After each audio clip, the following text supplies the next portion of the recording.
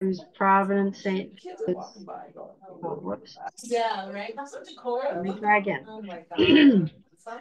Dr. Ellen Mahoney is Providence St. Joe's Hospital's cancer care program head, and Priscilla Lynn is the area director of oncology services. Judy, could you mute the um, your room so we don't get all the background? Thank you. um, Dr. Mahoney will present a brief history of the cancer program at St. Joe's and introduce you to the cancer care resources and treatments available at St. Joe's uh, in Humboldt County, Providence part of it, because Providence is all over. Since 2010, Dr. Mahoney has been the medical director of the cancer program at St. Joe's, and she served as the medical director of St. Joe's Perioperative Services since 2007. She's a former interim medical director for Hospice of Humboldt. She trained as a surgeon at Stanford and graduated with her MD degree in 1981. And by 1986, she'd become chief resident in surgery at Stanford before going on to become a board certified fellow of the American College of Surgeons in 1993. She moved to Arcata in the year 2000 and opened her own practice in breast cancer surgery. She speaks frequently on breast cancer in community groups, serves as a medical editor and expert contributor to the website of the Susan Long Foundation, Love Foundation, a nonprofit organization dedicated to the prevention of breast cancer through innovation, education, research, and advocacy. And she just was telling me about a new program in palliative care they're going to be introducing but that will be for another day. So it's all yours. Okay. Well, I want to introduce Priscilla Lynn, who's here with me. And uh, she's uh, our nursing director and uh, the person who actually gets the work done. I just sit around here and spin ideas and uh, Priscilla gets them all activated. You want to say anything about that? Uh, so I am actually, um, I've been a nurse for 20 six years. Um, the vast majority of that has been in oncology. Um, and I actually just relocated to the area um, a couple of years ago, um, really getting to know this area and this program. And one thing that I can say is that um, I joined this um, program and found the the level of quality here in Humboldt was um, it was heartening to be able to join a program with this nature of quality. And we'll, we'll talk a little bit more about that today. Okay. Let's go ahead and share the presentation. Program. Yes. And I'd just like to tell everybody that uh, to save your questions to the end. Okay. So. And put them in the chat. Yeah some someday we'll have to have a discussion on the influence of gender and career paths, but um, I didn't necessarily come here voluntarily uh, 25 years ago, but my husband, who I wanted to stay married to, decided mid midlife that he wanted to leave his Stanford faculty position. And uh, admittedly, I had a better job there than he did, but uh, I wanted to stay married. So I eventually moved up here myself, kind of reluctantly. And uh, I've come to realize that the opportunities here for me have been much better than they would have been if I'd stayed in Palo Alto. But when I got here, I found, first of all, that we have a very large uh, area that we serve. And uh, it's about the size of Connecticut. And there's one cancer program in that whole area. And there are challenges for our population in terms of distance and terrain and weather, as you all know and weather inter interfering with distance and poverty. And uh, this large service area, it was a challenge. And in fact, um, there wasn't any cancer care in Humboldt County until the 1970s. And when I when I did the needs assessment back in 14 years ago, started out with asking people, "What did you do um, if you got cancer?" And you know, they to a person, they said they either stayed and died or they went they moved out of town, at least for a while. So um, it was clear that something big needed to be done. But the background right now is that we have a, a comprehensive cancer program. This is where we are 14 years later. Uh, we deal in prevention and early detection, uh, community education, diagnosis of cancer, um, comprehensive treatment for most cancers and cancer support services, which um, we're going to be enhancing uh, in the in the coming year. And we try to give this service close to home because that's where people need to be treated if at all possible. I must say that when I was at Stanford, I was on the other end of the uh, attitude saying that, oh, everybody ought to come to the university if they have something serious going on. And since I've been up here, I've realized how incredibly impractical that is. And uh, since a lot of the health policy people are based uh, at universities, it's something to have to uh, overcome that attitude that maybe this shouldn't be happening out here. But uh, as I think we'll show to you, we do a good job. So we work together. It's collaborative. We have um, a weekly tumor board where everybody meets uh, for a joint problem solving uh, conference, multidisciplinary. And uh, we have genetic counselors, we have social workers, we have nurse navigators, as well as physicians and nurses attending. And also, uh, one of the things we've done is we've included and encouraged primary care physicians to be there to either present their patients or to be there when we present their patients, because we figure that that relationship um, is very important and knowledge about the patient. It's not enough to know how to treat the cancer. Cancer happens in people, it doesn't happen in test tubes. So um, we need to actually uh, tailor our treatments, best practices to that patient and what they can do. So this is a recent picture of a great deal of the staff. It's probably about 70% of us. It hasn't always been this way. Uh, the, the first person to offer any kind of cancer care in Humboldt County was Dr. Bruce Kessler, who some of you may know. And uh, Dr. Kessler was challenged by Scott Holmes when he had a patient with breast cancer to say, it's crazy. We don't have anybody who can give chemotherapy for this woman. I just finished operating on her. She had lots of nodes involved. What can you do about it? And Dr. Kessler uh, had trained at Stanford. He, in fact, he was a medical resident when I was a surgery intern. And uh, he had a nurse in his office who was also still around, Kathy DiCiola, who was so skilled she could start a peripheral IV that could take chemotherapy safely. And he called down to his professors and uh, got the recipe and started treating people, which inspired the medical community at that time uh, this was the time, you know, where we had Eureka Internal Medicine, Arcata Family Practice, Eureka Family Practice. It was a dream type. It's the it's the medical community we found when we moved here. Those all got, those guys all got together and uh, applied for a National Cancer Institute grant, and they got nine hundred thousand dollars to say how can we bring cancer care to this area with all of its challenges. Um, the outcomes of that grant were radiation oncology, which we didn't have the numbers to qualify for, but it was clear that for a treatment that has to be given so frequently that the only way to really do it for a community like this was to have a radiation facility. We also um, established the home-based hospice program and uh, Hospice of Humboldt started. And then we also began our accreditation process through the Commission on Cancer. And at the time that happened, most treatment for cancer was sequential. And people usually had surgery first, then followed by chemotherapy if they needed that, and then followed by radiation therapy after that. And when I did the first needs assessment, I was interviewing patients. It was interesting to talk to people who carried their x-rays around from office to office, but nobody had given them the whole picture in advance. So they would have surgery and they'd say, okay, well, that's it, right? I'm okay. It was tough, but I'm got through it. And they say, oh no, now you're going to go see medical oncology. So they go see medical oncology and they finish that treatment. They say, okay, that was tough. Now I'm done, right? And they go, nope, now you have radiation. And uh, it was it was a time when patients just were in a dark room on a treadmill, not knowing exactly what was going to happen next in their cancer care, something that needed to be, to be changed. So I became involved in about 2010 after moving here. And the same year, Dr. Liu also came here from the University of Texas. The only two uh, employees in the program were two cancer registrars that abstract data from medical records and feed it into the national data system.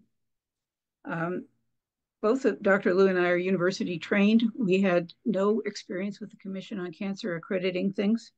And when we started looking at charts, we found some major problems with care here, and the outcomes were not good.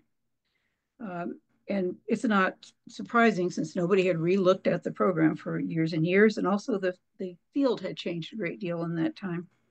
So we embarked on surveys, and um, some of you may have gotten surveys in your doctor's offices. We had interviews of various people, um, and we uh, brought in some outside experts because at that point, radiation and medical oncology were not getting along. And uh, when it became clear that we needed to up our game in terms of cancer care, uh, Joe Mark was the CEO, and he gave us gave me Tim Talbert, who was a very experienced nurse, and then Tim and I hired Linda Rasmussen. In that early time too, um, Dr. Korsauer retired from her job in the uh, Student Health Center at, at Humboldt State and when she found out what we were doing, she volunteered her old Volvo and went all over Humboldt and Trinity counties and uh, gathered data for a needs assessment, which is still a good document to see where we've come from. But uh, was, she was our first volunteer and was amazing. Long story short, the major problem we found was with the referral system, that over time, uh, cancer care had become more collaborative and multidisciplinary and people were used to that sequential system, which I described before. And um, the primary care docs who were up to date knew that it was multidisciplinary, but didn't know how to get the patient into a multidisciplinary assessment. So what they would do is send the patient to surgeons. And at that time, the surgeons were um, probably 20 or 30 years out of their uh, residency. They were not aware of all these changes. And so by the time that medical oncologists and radiation oncologists saw the patient, they'd already had an operation. And in many cases, that meant that their best chance at a good outcome had been squandered. And so we needed to find a way to get people to work together. And uh, that's where the tumor board uh, really was improved. And it's, it's become sort of our nerd prom every week. Um, people just love going to tumor board. COVID uh, damaged the in-person part of it, but we're coming back to that now. And uh, we still have a pretty re, um, uh, healthy uh, remote response for it to bringing people in that couldn't attend in person before. So we improved the tumor board. And then the other thing we did is we brought in the NCCN guidelines, which were relatively new. They had started in the 1990s. And that's a series of best practice guidelines that are generated by experts from, uh, I think it's now 33 universities who meet regularly, and each university sends its expert in that subfield of cancer care. And they read all the literature that comes out for that particular site of cancer, and they update their guidelines. So the challenge out here becomes how do you apply those guidelines to a particular person with their preferences and history and other medical problems, et cetera. We also, um, because we had the, the uh, association with the universities, we have very good relationships with the universities. I think we have everybody's cell phone number on our phones. Um, and just as background, some of you have heard about Dr. Hardy. He and I were at Stanford training at the same time with the same faculty. And Dr. Risha was also trained by the same faculty, but he was he's younger, so he was in a different time. So there was there was a good uh, unified outlook on how this ought to be done. Uh, the turning point in terms of organizing cancer care as a business around here was when Dr. Jeff Allen arrived and he did not want to have a private practice. So medical oncology was in three separate small private practices uh, around the area. Radiation oncology was at well, moved from General Hospital in a trailer to uh, having the vaults and the facility that we have now in the Russell Pardo Radiation Oncology Center. Um, and uh, Dr. Allen challenged the hospital and the medical group to provide him with a medical oncology practice inside the hospital. Um, so later on, of course, uh, the it, beca it became actually, we went from the Heritage Medical Group to the Providence Medical Group and the Providence Hospital System. When Dr. Allen came, uh, Dr. O'Brien saw that we needed somewhat more facilities. We didn't have what we need to have everybody under one roof, which is what's ideal. But he gave up uh, the convent, which was used to be urgent care, When I started doing this, urgent care had just been closed. So that whole hallway of, of convent rooms was empty and my office was in there. So I had my own kitchen and my own bathroom and the ideal office. But we put the oncology, medical oncology clinic in there. And then for chemo infusion, uh, Dr. O'Brien actually gave up his, the executive offices and uh, and turned that into the place where people get infusions and chemotherapy now. So this is sort of the general idea of what we treat uh, in terms of largest numbers of patients. We obviously get some very challenging cases that are very unusual, and we're we have a reputation for coming up with some oddball cancers here. But for the most of it is the ones you would expect, you know, GI cancers, breast, respiratory, etc. What I um, I'll tell patients that most cancers arise in tubular structures in our body, and all these tubular structures are lined with cells that have certain lifespan and need to be replaced. And every time they need to be replaced, it's a chance for the cells to make a, an, an error copying themselves. And when you accumulate enough errors on other errors on other errors, you have cells which go rogue. And uh, this is obviously breast is breast ducts, the, the tube, the bronchi and the lungs, uh, GI tract is obvious, etc. We have urinary, etc. We have also a fair number of hematology consults, uh, but for cancers that people think of most of the time, it's things, tubes in the body. So, hmm, yeah, this study just came out in July, and I'm a little behind in my reading, so I just found it last week. And it's from the Journal of Clinical Oncology, which is a pretty prestigious one. And they these are people who are health policy types looking at the idea that rural cancer care is not safe and that the mortality is higher in rural areas. And they, they did an in-depth um, analysis of this, but they found outliers. So the outliers were in urban areas where there was higher mortality than expected, and that's in red. And the blue areas on this map are where lower mortality than expected is found uh, in rural areas. And they speculate about how this could happen. You know, maybe this urban area is uh, far enough away from cities uh, and no cancer programs and maybe in the rural areas that do better than expected, that they're close to a city or there's high socioeconomic levels or something, but none of it applies to us. And you can see by looking at this map that the hi highlight of Humboldt and uh, Trinity County uh, light up like a light bulb. We have much lower mortality than expected. And uh, that was pretty exciting to see. And I don't think we have any of the exceptions or thought reasons that they thought that might be the case so this um, made us think you know what it, what are the things that we attribute to being able to have um, you know better mortality um, better outcomes than what is expected what was expected because of our the, our rural nature.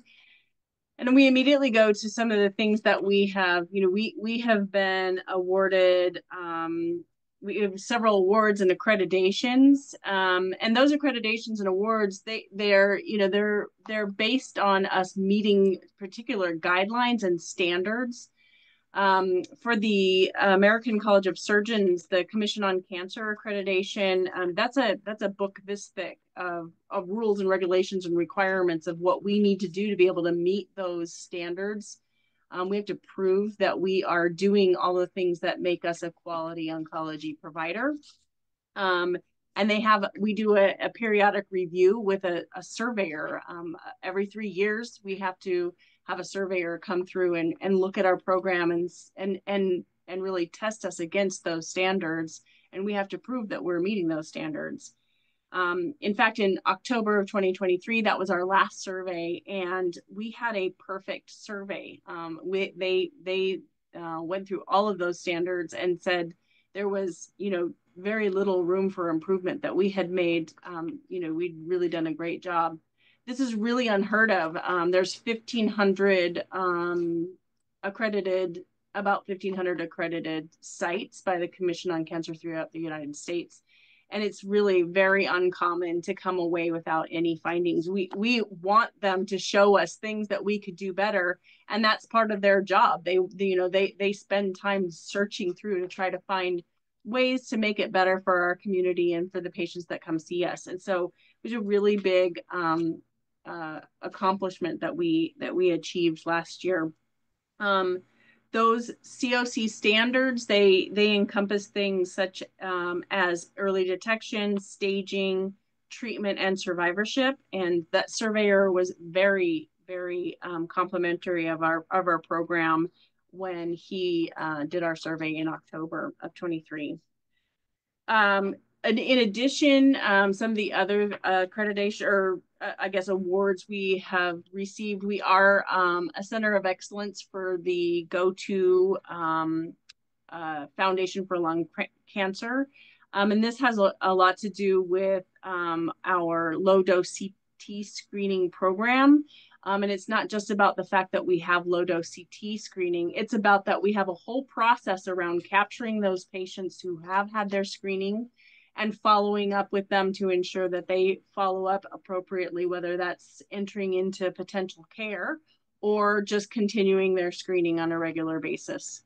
And then also um, in 23 and 24, we were um, uh, um, recognized by U.S. World News Report um, for, as a high performing hospital for colon cancer um, surgeries. And that uses uh, data like nurse staffing, um, the number of patients, survival, mortality, et cetera. So um, that it just shows that those um, that are high performing are significantly better than others, uh, other facilities in the nation. Along with, um, oops, I keep clicking that button. Um, you know, we, the other thing that we really ascribe our um, our great outcomes is the people that we get to work with. Um, namely, you know, we are uh, we are blessed to have some physicians um, that are nationally recognized, um, and uh, Dr. Mahoney is one of them. Uh, last year, she was chosen as one of ten out of the out of fifteen hundred uh, cancer liaison physicians. Um, she was awarded by the Commission on Cancer for her outstanding role here. Um, in addition, um, in the last several years, she was also awarded um, the Plessner Award from the California Medical Association, also very prestigious, and um, she's well known throughout California. Dr. Liu is one of our radiation oncologists, and he was recognized um, in a 2023 into as an ASTRO Fellow ASTRO is a national organization for radiation oncology, and his um, he was recognized for his contributions to the field of radiation oncology.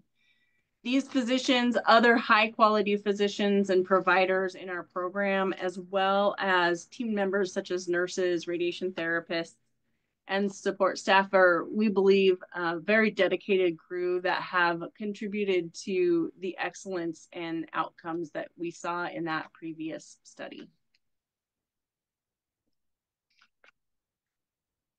So I'm just going to um, transition a little bit into our program specifics. Um, so I start with Cancer Support Services. Cancer Support Services is a um, department, a sub-department really of the cancer program. And um, this, this department came about right when Linda Rasmussen started um, in quality and accreditation in our program. And it was actually at the time very a very novel idea. Today, it's pretty common for a cancer program to have a cancer support services sort of department or at least those this these people. But at the time it was actually very novel and forward thinking to be able to have a team of support staff that um, kind of help through the journey. They're not just about being in medical oncology or in radiation oncology or during the surgeries you know or you know but when they're very involved all the way from the beginning of um, even in sometimes in the net nurse navigators in the inkling of someone thinking that they might have a cancer diagnosis they may be involved and then working them through that whole um, that whole uh, comprehensive process so we do have two general nurse navigators. They coordinate care from screening and diagnosis. Um, they they touch point with 100% of our medical oncology patients at the beginning of their care Um, and they're very focused on concurrent patients and head and neck patients. And then we also have a full-time oncology social worker.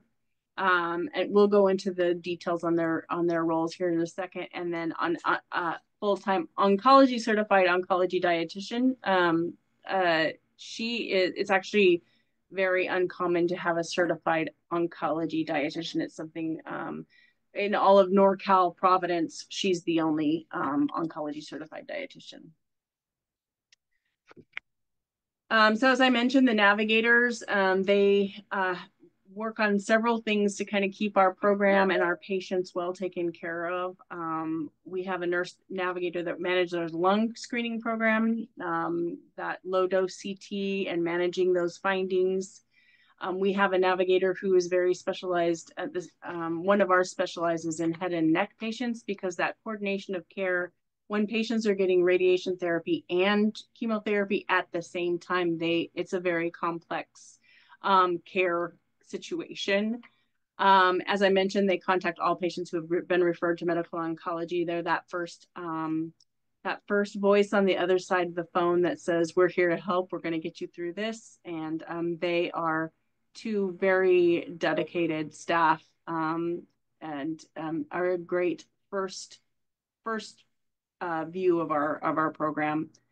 They do it. Um, they do work to assess for barriers to receiving care right in that beginning conversation, and then get the social worker, dietitian, or other services that they a patient might need involved our oncology social worker, just to jump into her role a little bit further, she um, definitely does a lot of psychosocial support, a lot of res resource referrals for things like food distribution, um, uh, helping patients if they need uh, to have meals delivered, etc.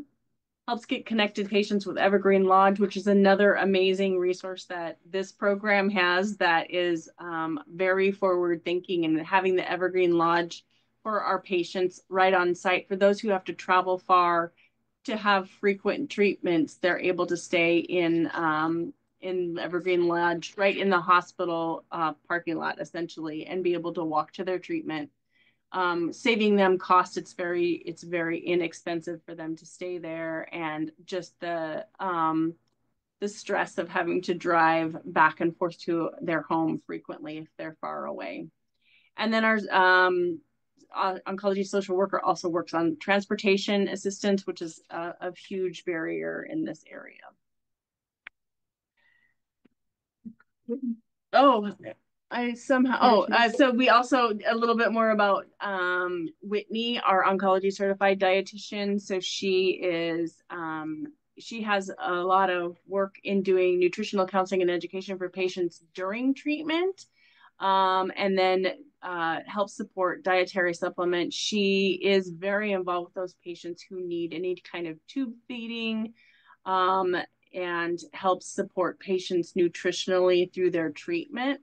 Um, she also uh, does community outreach with us to educate the community on the impact of diet as a controllable factor for cancer prevention.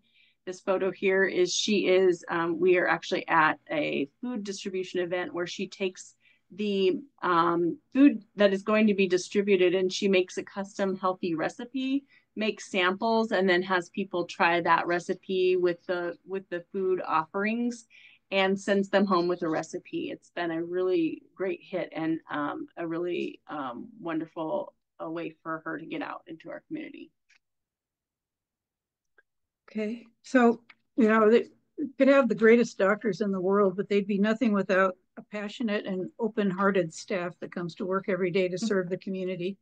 And uh, the morale amongst the staff is very good. And uh, I educate them once a month, and they are sponges for the science of the of oncology, which is becoming just absolutely fascinating. It uh, seemed to be stagnant for a while, and now the progress is exponential. Um, the challenge for us with all the success is to stay stay self-critical and uh, you'll see at the end that we definitely are doing that. We we are not content with this, despite all the awards and uh, all of the nice words that we get from the national accreditors. Uh, we know that we can do better. So we are working to put ourselves out of business, and that's what screening is about. we want to find cancers when they're uniformly curable, the earliest stage, when we can't prevent them. So low dose lung cancer screening, the trouble with lung cancer is that it's got a great big space to grow in before it causes symptoms. And so most people, by the time they were diagnosed, were stage three and stage four.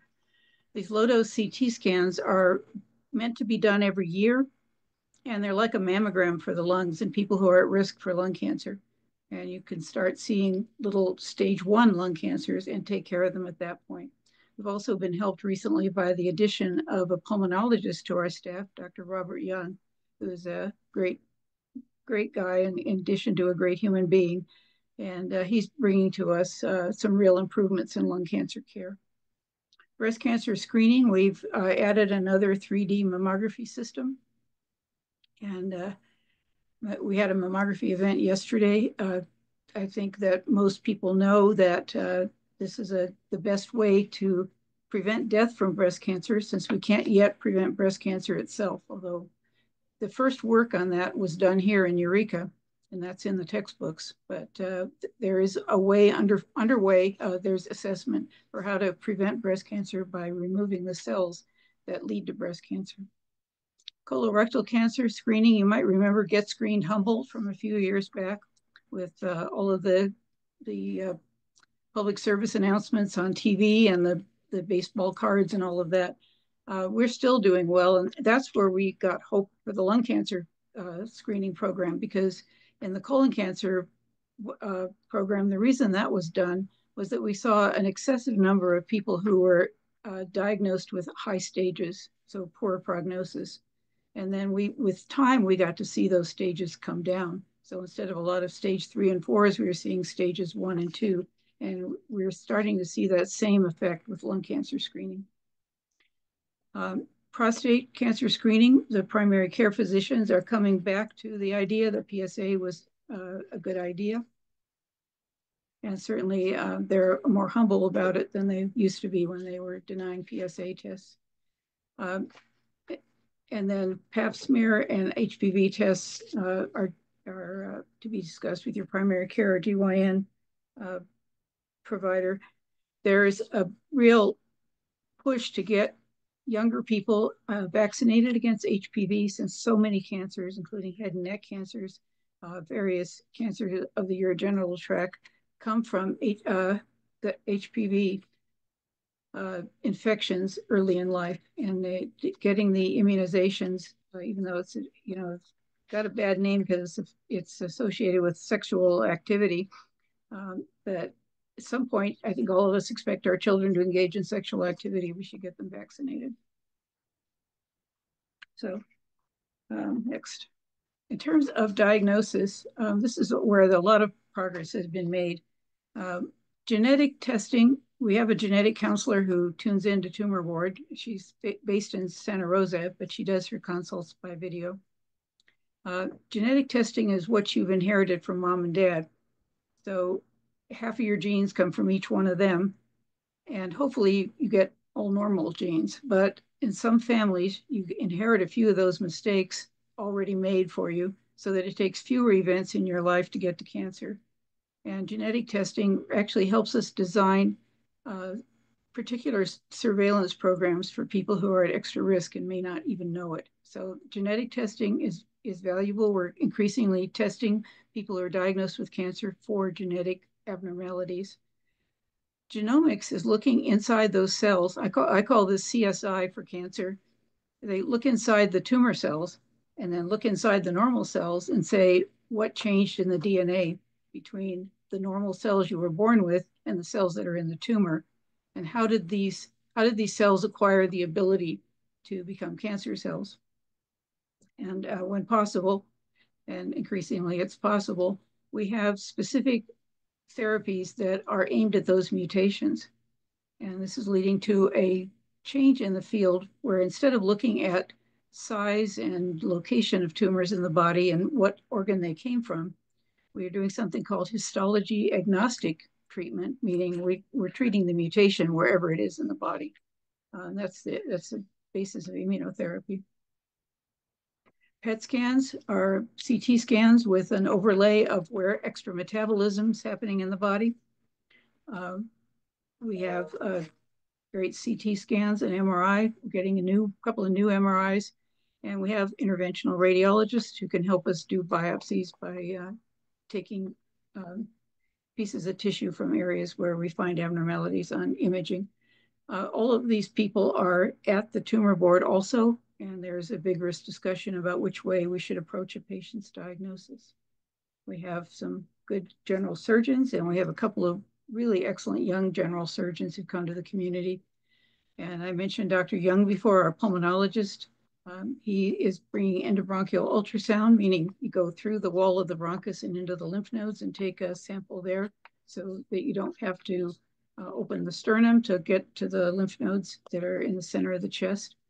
Uh, he's also going to bring for us a, uh, a new technology, which is to go down the bronchus and then out into the lung tissue itself and harvest small nodules that are seen on imaging and just take them out as a whole thing. Again, avoiding surgery, which uh, for anybody who's known anyone who's had a chest operation, they're very morbid and they're hard to recover from.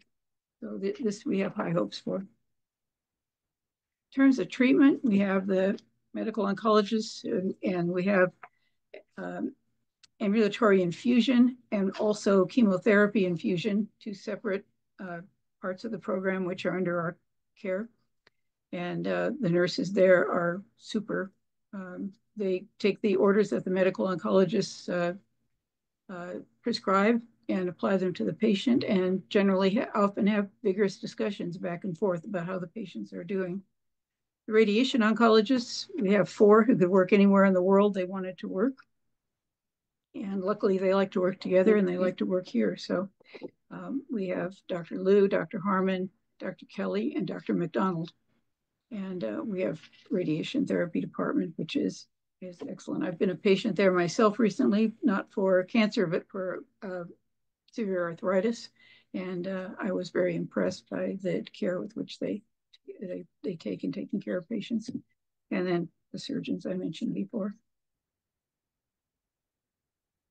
So just to delve a little bit further into um, our capabilities for treatment. Um, so we, um, the Dr. Russell Pardo Radiation Oncology Center is on um, the northeast corner of our hospital campus, right here on campus. And we have two linear accelerators. That's what's pictured there in that machine or in that picture is a is a linear accelerator that's um, that uh, provides external beam radiation to treat cancers. Um, we have um, a lot of advanced uh, uh, radiation therapy services such as IMRT, um, SBRT, uh, stereotactic radiosurgery, and we also do high dose rate brachytherapy, um, as well as standard um, 3D conventional therapies. Um, and so, you know, we have, um, as as Dr. Mahoney mentioned, um, four radiation oncologists that are um, very dedicated to this program and have been here for 30 plus years. Um, we have, on average, we see about 340 new patient consults in the radiation oncology department and treat over, there's 7,200 treatments on average per year. So a very busy department. Um, these linear accelerators are um, within the walls of the hospital, which um, you know kind of helps be uh, be able to have a program program programmatic effect. effect. We were, wish we were closer all together um, to be able to coordinate that care a little bit better within our hospital but it's a it's a major focus of ours to be able to provide that very coordinated care. Um, and then the other side of the um, treatment coin is the hematology oncology clinic and chemotherapy infusion. And so we um, we are again th that's on the northeast corner of the hospital campus. Um, we have 14 chemotherapy chairs. Um, we are currently stable with the support of three physicians and two advanced practice practitioners, to, uh, they're nurse practitioners. Um, but we are still continuing to focus on the stability of the medical oncology physicians. Um, some of you may know Dr. Eli Risha. Um, he is he is uh, our medical director for the medical oncology side and is our primary hired medical oncologist. He works remotely, and we've actually been um, recognized within Providence for our telehealth program with him because we have taken some novel approaches around telehealth um, where we actually have, um, in many cases, telehealth is a physician in an office and the patient is at home. And in this um, case, we've done it the flip. The patient's in the office with all of the support team, the MAs and the clinical staff, and like our nurse navigators and our and our social workers are all there to support that patient. And the physician is actually in his home calling in. And we've done um, a lot of work around trying to make sure that patients feel like they're just as well encompassed in the care um, with that telehealth visit as they would be if the physician was right in the room with them. Um, we actually see about 500 new oncology or hematology patients um, in a, a year in the oncology clinic, medical oncology clinic. And um, we have in the chemotherapy suite, um, we, I lost that number. Hmm. Um, So thirteen? is it 1300? Oh, you're talking about numbers. Nope, nope. Well, um, I, I will pause. Fourteen chairs. Okay. Yeah, we have 14 chairs. Anyways, I'll, I will get back to you on that. But um, so we in the chemotherapy suite, actually throughout our program, um, we have a high percentage of oncology certified nurses, which is um, recognized nationally as a as a a marker for great care. Um, this uh, being certified as a nurse is a, a very difficult exam. It's um, proctored and it is um, considered a, a, professional certification, board certification. Um, our program started with just one oncology certified nurse. She was a radiation oncology nurse. And um, we just really have a long expertise of growing um, our own staff into being um, excellent providers and becoming certified. Um, it is it has been long term our practice to be um, to kind of home grow our own and our departments are sought out for for employment both internally um, people want to come work in this department because of the excellence um, uh, that that occurs here and um, we're even sought out you know when people learn about our program from without they they want to come be a part of it You didn't say Go how ahead. many we have now. Oh, uh, so we're at about 60% oncology certified. And as I mentioned, uh, that is actually a very high certification rate. Um, and uh, uh, I do believe it's also the highest amongst the NorCal um, Providence site pro cancer programs. Okay. Um, so just have a little, I'm going to make sure our settings are correct. Um, a, a quick video um, that helps highlight um, our, our cancer infusion program. My name is Leah McCrane. I'm a charge nurse here at the Chemo Infusion Center. The one thing about being a chemo nurse is that you not only get to see the patient on a regular basis, you get to actually know them, and in some ways, it feels like they're kind of a big part of your life. The start of my day is we have a morning huddle and we go over every patient for the day, things that they may need, what will make them more comfortable. We have sometimes up to 40 patients a day and in all different areas of cancer. And we have a great team and we talk throughout the day. We are all about communication. We spend more time together here than we do with our family. So it is kind of like we are a family here. There will be times when you have people that are doing very well with their treatment and don't need a lot of support. And then there are times when you have some very sick people here. They're sometimes spending their last days here with us, and we want to make them as comfortable as possible. When you are there for that person through everything you can go through through chemo and they come out of the other end of it, it is one of the most fulfilling things to see. They get to go out about their lives, they have their children, their family, and come back and say, hey, remember me? I've done this, this, and this, and to know that they are on the other side of this and we help them get through that, it is um, an amazing thing to see. So um, Providence's promise is know me, care for me, ease my way. Um, and I think that is absolutely in the heart and soul of, of our program. And I think it's really evidenced there. I think I just want to make sure that, um, you know, the, our community knows that um, we have access to all of the treatments that, um, you know, the larger centers that traveling far from here would offer. Um, we have very uh, high excelling physicians and nurses and radiation therapists and other clinicians. Um, we, I, I forgot to mention in radiation oncology, uh, we grew our own dosimetrist. It's a very quite unheard of to have a local dosimetrist and, and physicist. Um, those two people are instrumental in creating those radiation therapy plans. Um, in many programs, they're fully remote, and we have on-site support of a physicist and our uh, a dosimetrist that grew up from being one of our therapists.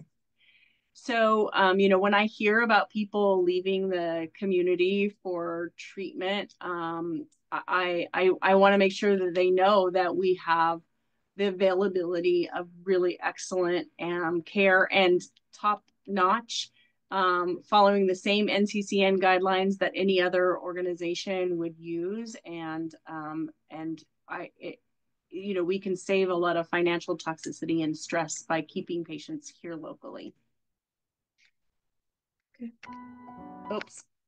A little word about surgical services. Um, I actually started my medical directorships here at St. Joe's um, as medical director of the operating room, which I did for 10 years uh, including the transition from the old operating rooms to the new tower. And uh, when I started, that new tower was about to open, and I looked at the floor plan, and I said, you know, you don't these none of these rooms are big enough for a robot or really a servo controlled operating system, which we were using at Stanford, but it was pretty new in the world. And I got some pushback saying, well, we're never going to have one of those here. And I said, I think you better be ready for it because it's going to be important for treatment. It's going to be important for recruitment. So we'd already had all the approvals from the OSHPD, which is the certifying agency at the state of California level. But I made a case and they spent a million dollars to move a wall. And we now have rooms big enough to hold uh, our current robots. And this year we got one.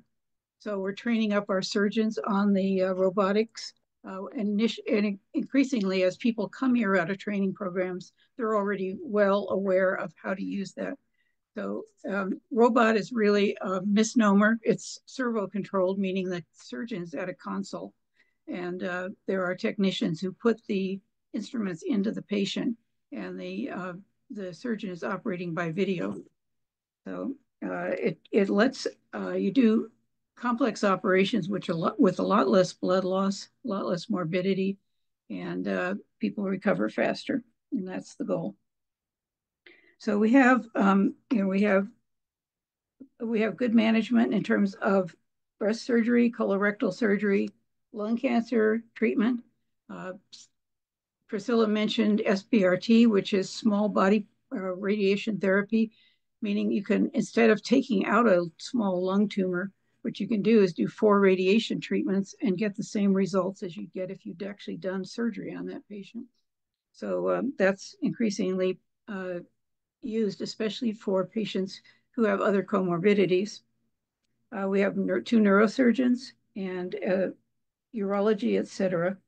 Uh, we have excellent vascular surgeons. Among the reasons not to leave the county is Dr. Holly Haight, who's our new joint replacement surgeon who uh, gets wonderful results, does all of her hip and knee operations as outpatients, and sends a physical therapist around to your house the afternoon you get home and uh, starts your physical therapy at home. My own husband had his knee replaced by her, and uh, it works. So uh, we have eight operating rooms, and then we have procedure rooms for endoscopy and for, cardi for cardiac uh, procedures. So we have uh, overall 9,000 operative cases a year. And when you put everything together, the operations, the treatments for medical oncology, the surveillance for people who've been treated and are being followed, the radiation treatments, we're seeing about 31,000 patient encounters a year and uh, for in our program. Uh, by the way, in the for the breast surgery part, which is what I know the most about, um, I have an in the in the operating room X-ray, so I can take the angles of the lumpectomy from different uh, uh, aspects to see that whether or not it looks like I have clear margins. The problem with that is, of course, the the uh, pathologist gets a chance a week later to tell me that there's still some microscopic cells at the edges, but we do our best this way. And we also have gotten away from wire localization, which I always thought was a particularly brutal way of find, trying to find abnormalities on mammograms that you can't feel. And uh, we've gone to a um, system right now and we're uh, microchips, just like you put in your pet, and those microchips are placed near your biopsy site and taken out when you have your operation. Uh, we're looking at some other uh, systems to see whether there's anything better now. So in terms of community outreach, we do a lot of that. We want to be a part of the community and you'll see in the next slide, this outreach is crucial in terms of our being integrating ourselves into the community, being part of the community and improving our care and services to people. We've recently done uh, health fairs at K'ima:w out in Hoopa and at the Bear River uh, area. And uh, we we have uh, National Cancer Survivors Day at, at the Crabs Park. It's kind of ironic that the crabs, the same symbol for cancer as a crab, and we happen to have a crab mascot. So we got the cover picture on their magazine the first year we did it. And uh, we we do our best to try to take all the different types of cancer and, and educate the, the community whenever we can. Uh, if you haven't seen the inflatable colon, you can walk through for yet. Um, please come to one of the health fairs and see it. And looking forward, this is where I said we have to remain self-critical. We don't stay self-critical, we get complacent. And we have these wonderful cancer support services, but people bump into them now and basically when they get to a crisis state. And uh, they, in addition to the the ones that were mentioned, we also have financial counselors and financial toxicity and medical bankruptcies are big news these days. We don't want our patients to go through that. Um, and we don't want them to wait till they're suffering to find out that we have a support service for them. Um, this was shown by our sister uh, facility in Santa Rosa, where they noticed that the snacks they put out for patients were disappearing at a great rate and came to realize that many of the cancer patients were hungry and put a food bank inside the cancer center. And uh, that's one thing we hope to do. Um, we, we want to integrate better uh, in, in, terms of having all these approaches, including wellness, uh, uh yoga classes, dietary classes, integrative medicine. We're just, we're very activated in terms of trying to find all the ways we can partner with other providers and community members who aren't traditionally part of the cancer program and apply what they can give us to the uh, cancer program for the goodness, the good of our patients. So um, non-drug approaches, we have a nurse practitioner who comes from a palliative care background and we hope to uh, have his skill throughout the course of people with serious cancers so that he can help with symptom management. But also, when the time comes, if it does, that treatment is becoming futile, he helps to recognize that. And we don't have to wait for the inpatient uh, team. Uh, we want to treat the whole person, and we talk about lifestyle, conventional medicine, et cetera. So stand by because that's going to be our focus for the next, you know, it's our next big project in terms of making cancer care here uh, equal to and better than what you could get anywhere else that's that, I think. That concludes um, our presentation and we can uh, stand for questions. Yeah. And I think I see some in the chat. Okay, then the, the fourth book might be when it starts. She, she. Um, there are numbers in chat. Yep. Judy, And I can see Judy, them. could you all mute her? No, we Yeah, somebody Yeah. needs to, mute. okay. So we can start at the top. Um, uh, explain the tumor board. Okay. Uh, tumor board is a an hour and a half or so every week where particularly challenging or difficult cases are presented to the whole group. So uh, you can imagine uh, the dilemma of a medical oncologist or a radiation oncologist who just sees a patient for the first time and they've got all kinds of things going on. Um, an example recently was our pregnant patient who had breast cancer. And so, as nobody would be caught off guard when she walked through the door for the first time, I presented her at tumor board so that everyone got acquainted with her case and anyone who had ideas for care put those ideas into the hopper so that we all knew where we were going with that. And this is a case too where we uh, did get advice from Dr. Hope Rugo down at UCSF, and uh, she was very willing and very generous with her time. And we got this this woman who discovered a breast cancer when she was six weeks pregnant, actually delivered a healthy baby boy. So we we introduced these patients who are have particular challenges to the whole group, and uh, it's done at lunchtime. Uh, the uh, as I said before, there are a number of people who are there on the video screens, but also a number increasing numbers now who are back being in person, and everyone who treats cancer and everyone who takes care of cancer patients, including a number of other nurses and primary care docs, uh, nurse practitioners in the community, uh, tune in. They get uh, continuing education credit, but they also get to um, interact with the cancer program so that they get an idea about how we approach problems and we get an idea of the things they know about their patients that would take us a long time to learn. I hope that helps. Anyway, we also have a radiologist and a pathologist. So for any case that's presented, we have the story is told, then the radiologist goes over the films uh, that are relevant, and the pathologist goes over the uh, cellular details that are known, and then there's a discussion about how would you approach this case. And uh, notes are made and sent out to everybody, and uh, that's that. Next question, Leslie says, is there a blood test for cancer yet? There's a blood test for some cancers. There's the old AMCAS stuff was basically a scam. Um, there's obviously PSA is good for prostate cancer and has to be interpreted carefully.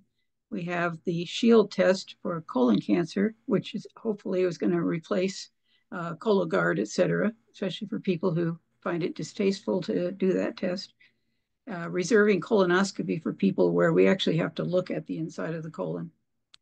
Um, so that's coming. Uh, there, there are by sites, but I think it's there are, although there are mutational similarities between some cancers, they are different enough that the diagnosis so far is um, is probably more specialized. One example, what one exception, I mean, is the liquid biopsy, where sometimes when we can't get a biopsy of tissue by any means, we actually just take some of the patient's blood and look for DNA fragments in the blood. And uh, oftentimes, especially if we say we know the patient has cancer, but we don't have enough tissue to run the genomics uh, and do the analysis of where the mutations are, we can find those in the blood in the peripheral blood. So that saves the patient an operation. So between CT scans, which basically eliminated exploratory surgery, and um, this technology, we're actually being much less invasive than we have been. Um, Jane asks, when someone's diagnosed with cancer, what are the next steps or the process for the patient and how is melanoma treated? Okay. Well, we started out forming the intake clinic. So the intake team. So the intake team was the schedulers, the nurse navigators, and me. And we took on every single referral and started out with saying, does this patient have a home? Does he or she have a phone? Do they have insurance? And uh, what are their what are their needs in the community? And then what are their needs with respect to their specific cancer? So that the first visit with somebody to take taking care of them is not just a social call to order tests but that some of the tests are already done when they come through the door. Time is important in cancer um, sometimes not as important as people think but still we don't want to dally about it. So if we can get uh, some of the primary care providers who've referred the patients to us to order some of the tests in advance uh, and that's again according to guidelines, uh, then we do that. Um, but now the nurse navigators have taken over that function and they're doing a great job. And uh, they're also coordinating people who need both radiation and medical oncology so that instead of having appointments in those departments a week apart, uh, we actually um, have them in the same day here. So that saves gasoline in, in an area where there's poverty. People don't have a tank of gas to, to donate to coming into this cancer center. So we want to do our best to make sure that the financial toxicity is, again, as low as possible. I, it's, I guess that, how, is melanoma Um, treated? Yeah, increasingly with immunotherapy and increasingly successfully. The trouble with melanoma has been uh, when it's at higher stages, we have more trouble controlling it like a lot of other cancers. Uh, and there are other details in terms of the mutational uh, aspect of the melanoma. They don't all have the same mutation, and the ones who have particular mutations are treated more effectively. Uh, and uh, the ones that uh, that don't have that or at earlier stages sometimes don't need any systemic treatment at all. Anne asks if a person gets an oncology consultation at Stanford or UCSF, is the local team able to follow up on the suggested course of treatment? Yeah. So we have a number of patients who have done that. And uh, first of all, the person at university increasingly says, listen, we know the people who take care of you up there in Eureka. Um, they know what they're doing. And if you came here for your treatment, you'd get exactly the same thing that they will give you because we use the same guidelines. So if there are particular tricky cases, we actually send the patients down for a second opinion and they make suggestions and we do implement those suggestions and work in conjunction. I, I mentioned Dr. Rugo and the pregnant patient. Um, you know, when, when I uh, first started this journey of medicine, people who got pregnant while they had breast cancer had abortions no matter where they were in their pregnancy. And uh, now we know that we can actually save the baby if the mother wants to do that. Um, we have certain chemotherapy agents that we can use that don't damage the fetus. And uh, we can then delay some of that treatment until after the baby is born and uh, still have good outcomes. So um, that's where we are. Um, Bonnie asks, when I was finally diagnosed with gynecologic cancer in 2015, I was told there was no like local gynecologic oncologist here. Is that still true? Yeah, and probably will always be true because the volume of GYN cancers is low. And so that's the exception whereby we can prove that the outcomes are better if people go to a, a university center to have their operation and their initial evaluation. And uh, because this, the surgeons there are up on the latest techniques for how to remove the tumors and how to analyze the, what's going on with the patient. And then they have their own tumor board. They make suggestions. The patient comes home and recovers here and gets the rest of the treatment here. So um, we we do a very good job of coordinating for GYN oncology patients. And uh, this is a good place to mention the Breast and GYN project in Arcata, uh, very important in terms of helping patients out. But uh, I think we will always have uh, GYN oncologists outside the area because local GYN surgeons should probably not be doing these more complicated operations. And they, they admit it now. Uh, Tom says, I'm eight years, uh, no evidence of disease from stage three CRC with rising CEA levels. Um, driving to OHSU Hmm. and um, would who would he contact to talk about leading care? I think just, uh, do you have, if you have a primary care person, you're lucky enough to have one of them, they can refer you here. Um, otherwise, just call the, call us and tell us that you need to be cared for. And uh, your people at uh, OHSU will, will probably work with, I mean, I know they'll work with us. We've had other Mhm. patients where we do that in conjunction with OHSU. So they, they know that you'll want to be close to home. And uh, if there's anything tricky about your case, they will advise us on what they would do if you were there, and we'll take that out and stay in stay in um, discussions with them as you progress. Now, the, the other thing to remember is CEA is a is a bit of an imprecise blood test. There are lots of things that can make your CEA go up temporarily and then come down. So, uh, you know, sometimes it's sitting next to somebody who's been smoking or uh, a viral illness or something. So it has to be a steadily and consistently rising level before we get excited about it. And then we there should be diagnostic tests which can be done here or there to see um, if we can find the site of the extra CEA. It's a primitive protein that, that some of those cancers put out. Not all of them. Kay is asking, what is the solution to um, prim not getting primary care doctor or to getting primary doctors care and dentists here for patients, knowing that that's a problem with how the access is? Yeah, that's a that's what's really changed in the 25 years I've been here. When I got here, there were lots of primary care docs. They were all very activated, very excellent. They greened out in the 70s and early 80s. And uh, we had a very vibrant medical community. Um, there's a lot of things that have happened in the interim. One is that uh, with uh, the hedge funds, et cetera, taking on medicine, uh, the the amount of money that gets down to the local level is less than it should be. Uh, young people are not incentivized to go into medicine anymore, and that includes all specialties, uh, all types, and dentistry too. Uh, smart young people are going into finance or tech and not going into medical school or dental school. So that's part of it. Um, we have, of course, taken a lot of foreign medical graduates. You may notice an increase in doctors with funny last names. Um, and that's great, except that we're providing a brain drain for those countries that they come from. And that's not fair either. We should be growing our own. So um, there, you know, it, increasingly now is if you look at a career in medicine, it's a vocation rather than a profession. Uh, and that's changed the characteristics of medicine. And having corporate medicine where they tell people how long you can spend with an in, individual patient, et cetera, is a system that at some point is just going to have to be broken. I, am not sure how it's going to happen. Um, what we've done locally, uh, Dr. O'Brien set this up, but we started growing our own primary care docs because you're right, there are 65,000 people in this county don't have a primary care physician. So they're not getting screening uh, unless they go to a screening event.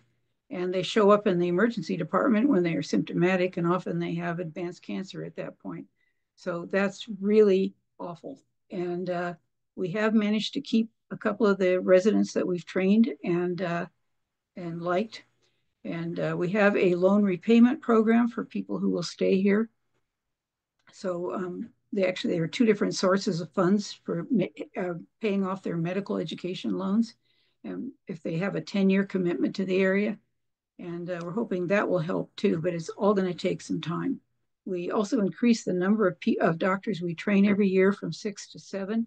And uh, we have a, a, lot of people who apply to this program. Apparently the family practice residency program is excellent also. And uh, the leadership seems to be good. Um, how effective is immunotherapy for the different cancers? We're figuring it out.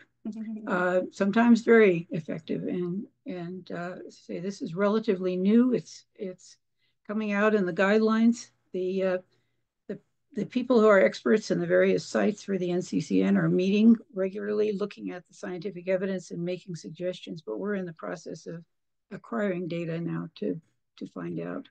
Um, it's not as easy to, to, um, to uh, uh have done to you, or it, it sounds like it should be uh, gentler, but it's not necessarily. It's a, it can be a difficult treatment.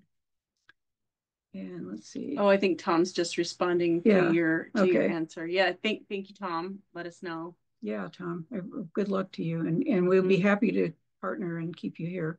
And uh, I think you'll find you'll love our staff. I love our staff. Okay. Um Julie says one of my humble heroes, all of ours. Um yes, thank you very much. Any other questions? What's the primary thing that we as residents can do to help? Oh, wow. Um, gee, I guess from this point of view, um, to reassure people who are being treated here that there's no magic out at the universities. I'll tell you that, having come from one. Uh, and in fact, one of the problems with the university, and I'll say this to somebody who was a junior faculty member there, is you can go down there for a consultation and get a junior faculty member who then years later will, will cringe and say, oh my God, why did I tell those people that? I didn't have the experience to say that. Um, what you want, what used to happen is that when you went to the university, you got the gray haired guy who'd been at it for a long, long time. Um, and that doesn't happen all the time. So it's good to know the name of the specialist you're going to see, make sure it's somebody who's got some mileage on them. And, uh, and if necessary, uh, go and see them. But maybe it's best to start here and find out if it's necessary. Find out if there's any controversy about how you, you should be treated that would be um, clarified if you went to the university.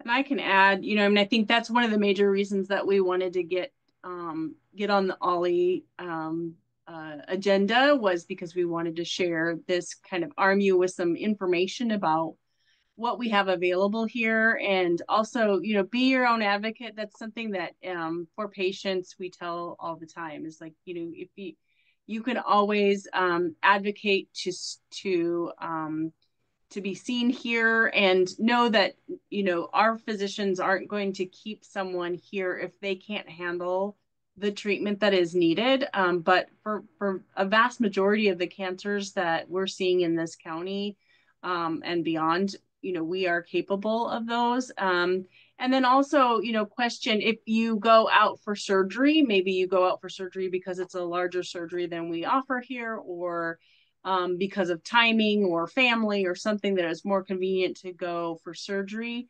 When that surgery is done, if there's follow up treatment that is needed in radiation oncology or medical oncology, um, again, advocate for coming back to your community because over time, the success of that treatment, you know, um, you don't want all the complicating factors of adding travel or or delays because of the airport, et cetera, um, creating uh, a potential downstream effect on your treatment. So, you know, advocate for yourself um, and for people in our community to be questioning whether um, whether it's possible to be treated locally.